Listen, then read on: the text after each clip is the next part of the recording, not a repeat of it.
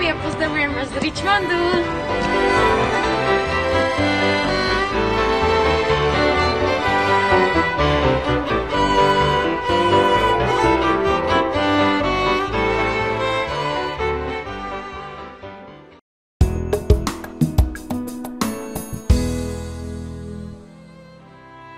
Dobré ráno všetkým. A pre tých, ktorí ma nepoznáte, moje meno je Šimon a, a študujem na vysokej škole v Holandsku, v Amsterdame. A aktuálne som v prvom ročníku a študujem ekonómiu a biznis ekonómiu. Popri škole pracujem v hoteli na recepcii. A čo sa mi v Holandsku páči je, že sa tu dobre študuje. A škola je celkom náročná, no Mám pocit, že je celkom kvalitná, takže to je super, preto som sem išiel. Páči sa mi tu, že môžem veľa bicyklovať, lebo mám rád bicyklovanie. No a čo sa mi tu nepáči je, že tu veľa prší, čo je celkom nepohodlné, hlavne keď veľa bicyklujete. Taktiež mi chýba rodina, chýbate mi aj vy všetci ľudia zo zboru, preto by som vás chcel touto cestou krátko pozdraviť, majte peknú nedelu.